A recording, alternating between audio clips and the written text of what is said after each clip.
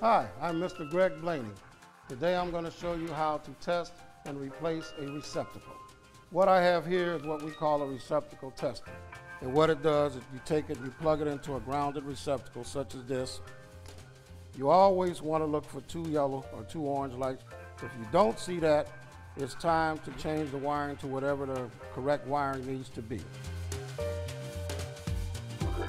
Now the first thing you want to do, if you have a problem with your wiring is cut your electricity off in your panel.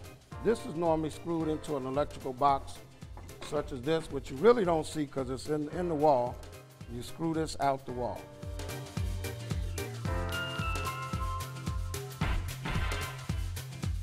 Your hot wire is the black or the red.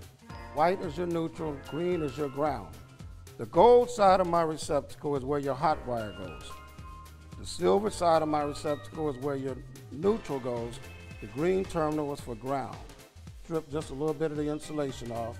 Then I'll take this, a pair of needle nose pliers, and I'm gonna just grasp the end of it and put a little loop on it. I'm gonna put it on the white terminal.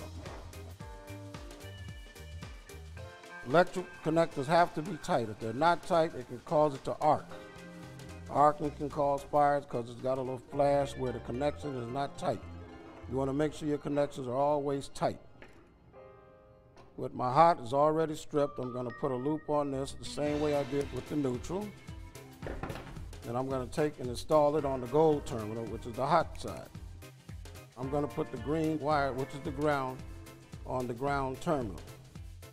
Here's my hot terminal, nice and tight on this side. And I flip this over, you see my neutral, which is my white on my silver terminal. You got my green, which is my ground on my grounding terminal. Before I insert this back into the wall, you always want to take a piece of black electrical tape and you want to put it around your receptacle. Screw this into the box itself, this receptacle.